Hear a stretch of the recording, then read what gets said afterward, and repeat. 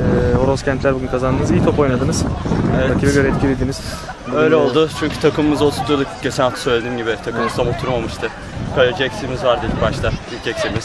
Geçen hafta da biraz üstün oynadık gerçi rakipten ama kalecimiz olmadığı için Evet. hatalı goller yedik.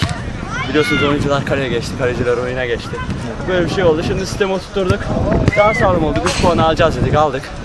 Rakibimiz iyi oynadı yine de. Şanssızlık diyelim. Teşekkürler. Evet Sercan senin de alalım. Valla kaybettik. Takım başarılar diliyoruz önündeki maçlarda. Bir türlü şanssızlık kıramadınız. Siz olmuyor. Bir Sistem tam mi oturmuyor? bir oturtamadık, tam kadro olamadık. Hayırlısı diyoruz artık hani yapacak bir şey yok. Her hafta bir şeyler eksik oluyor.